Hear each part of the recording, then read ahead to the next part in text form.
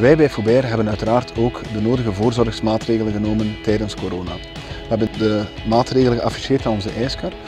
Zo willen we uiteraard enkel maar één klant of één gezin per keer bedienen. We hebben graag dat de mensen praten langs het raam tegen de medewerker en niet langs de doorgang. Die hebben we beperkt gehouden tot 15 centimeter, zodat ze een bestelling kunnen afhalen, maar contactloos zoals het overal hoort.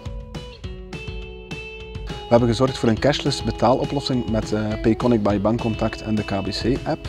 Dus vanaf nu kunnen de mensen ook hun ijsjes volledig contactloos betalen op ons nieuw kassasysteem. Wel, we hebben zelf een kassa-applicatie ontwikkeld. Onze medewerker geeft uw bestelling in en daarna genereert de software een unieke QR-code. Die hoeft u alleen te scannen met uw Payconic by Bankcontact app. Dan vult u uw pincode in, u betaalt en dan kan u gewoon uw bestelling meenemen en is het volledig contactloos gebeurd.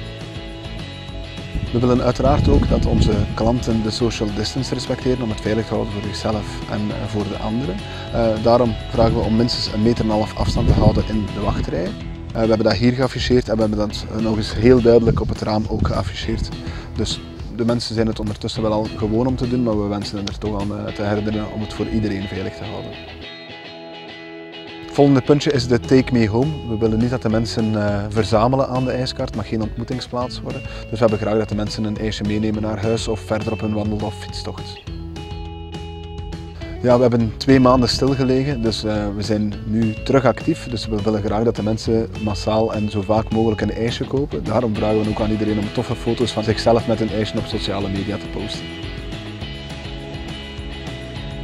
Bedankt en stay safe.